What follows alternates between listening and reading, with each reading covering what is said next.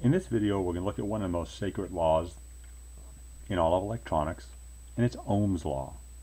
So Ohm's law in a nutshell states that voltage is equal to current times resistance. But in this sequence here, we sort of prefer to think of it as doing one step of algebra, dividing, dividing both sides by R, and saying that current is voltage over resistance. So we're just going to sort of write Ohm's law like that because it gives us more of a sort of a reaction to some things that we'll see, and I'll illustrate that. So what it tells you then is a couple things. The first thing is it definitely illustrates that voltage, current, and resistance are very different quantities. I mean, they're so different that they even appear as their own symbols in this simple equation here. So they can't possibly be the same. Like if voltage was the same as current, this could be a V right here and we could cancel them out. Or if current was the same as resistance or something, the same thing would happen. Or we'd get an R squared over here. But that just doesn't happen. They're just very different and you need to start thinking about them as separate quantities and Ohm's law might help to sort of flesh that out. So what we'll do then is we'll use this form over here, and the key thing that we want to notice about it, at least in this video here, is that the resistance, or the amount of resistance, is in the bottom of a fraction. So you may be very rusty on math and algebra, and that's okay, but just remember the way fractions work. Remember that in this bottom here, when the number in the bottom is larger, then the quantity over here is going to get smaller because it's in the bottom right here. So when the denominator gets large, the overall fraction, which in this case is equal to the current, becomes small. Likewise, when the resistance becomes very small in the denominator of a fraction, the current will get very large. So what this law allows us to sort of think about in technical terms here is how does the current in a circuit vary with resistance? That's what we want to look at. And we'll show you where the voltage comes in. So the way we're going to analyze Ohm's law here is we're just going to look at our very simple circuit. It's probably the most simple one I can think of here. It just has a battery with a battery clip, and we're just feeding a single resistor here's a jumper wire in here and just goes around here and back to the battery here. So I'll even disconnect it. And it's a rather boring circuit. You don't see anything happen. Nothing comes on. But our claim is that current is actually flowing because we have built a circuit. You see the circle. Current comes out of the red terminal of the battery through the resistor, through the jumper wire, back around here.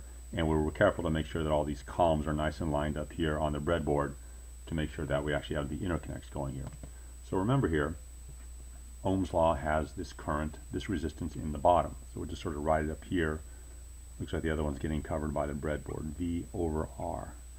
Let's just see if we can make any sense out of that using this circuit here. So the first thing we'll do is we'll address what V is here. And V, it turns out, is the voltage that you've applied across your circuit or the voltage you've applied across a circuit element. In this case here, I only have a single circuit element, which is this resistor right here, and I have a 9 volt battery on it, so you can probably guess what the voltage is going to be, but we're going to go ahead and measurement, measure it here. Just have a little exercise in making a voltage measurement here. So I have the meter. The clicking you heard was me setting it onto the 20 volt scale right there, so I'm ready to go. And what I'll do then is I'll go ahead and put my battery clips here, my clip leads here, and you can sort of see underneath here how I have the yellow clip going onto the red terminal of the voltmeter and the green clip going onto the black terminal of the battery. I'm just doing this for, so, for some convenience here. We'll sort of get in here and I'll just measure the voltage across the resistor directly. So I'll clip one lead over there and one lead, over there. And of course I'm getting about 8.5 volts. So I am using a 9 volt battery for this. It looks like my battery is failing a bit, but we can keep going. It looks like it's stable for now. So about 8.5 volts is the voltage I have across the resistor. And that's just never going to change throughout this discussion. There's always going to be 8.5 volts across that resistor. So we're not going to worry about that right now. So it's about 8.5 volts. And we can just jot that up here if you want that this voltage here will be about 8.5 volts. Okay. So the next thing, what about that resistance now? Well, this, this equation says the amount of resistance you have is directly going to dictate how much current flows in the circuit. Now we've done some stuff before with measuring current flows and we're going to repeat that again now to sort of see what happens here. So what I'm going to do is I'll break my circuit again because remember current flows always require getting into that flow. So I'm breaking the flow here out of the resistor and I'll send that into my red terminal of the voltmeter using this clip lead right here.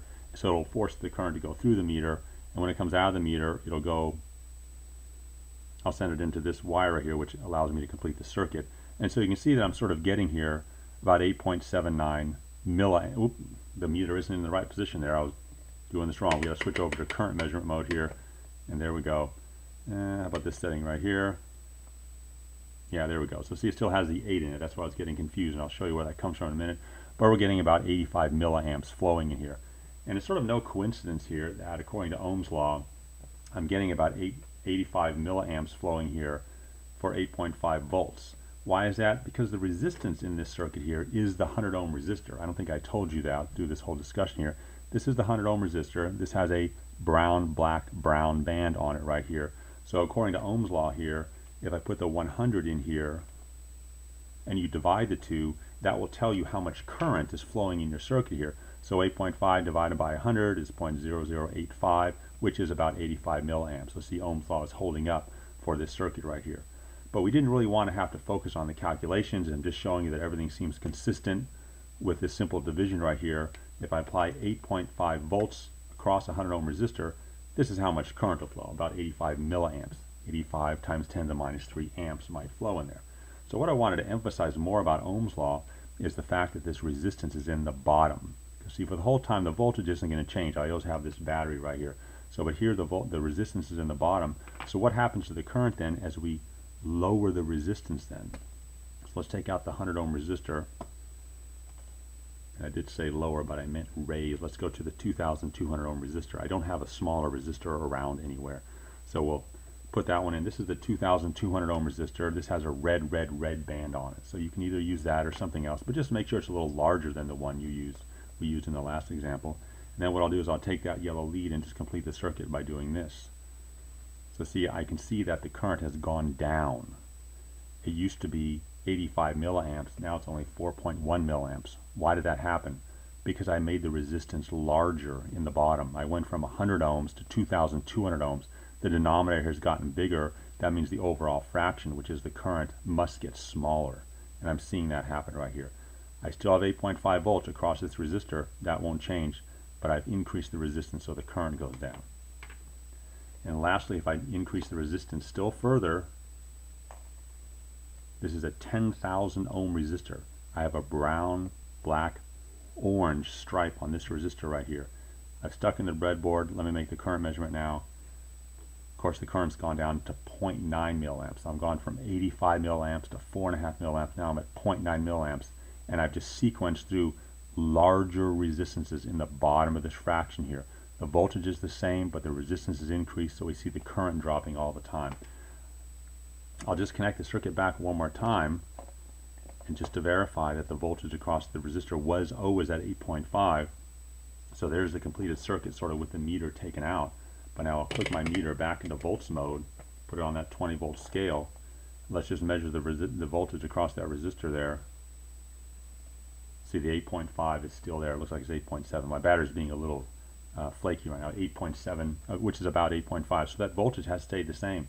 So what I've done through this video here, throughout this video, I've, I've illustrated Ohm's law, in particular the, its ability to predict current flow, which is inversely proportional to R. The larger R, the smaller current flow. And we saw that by cycling through a 100 ohm resistor, a 2,200 ohm resistor, and a 10,000 ohm resistor. We saw the current drop as the resistance went off, went up. And that is the epitome of Ohm's law. And that's also why we like to write it like this. I is equal to V over R. Because I feel like this is a more action-oriented form of the equation right here. Voltage is what I apply, that's my pump in the circuit. The resistance is what I build. And only when those two are brought together can I expect to measure a current right there. So I like to keep them over here. I like to see that R on the bottom so I get that variability as we demonstrated.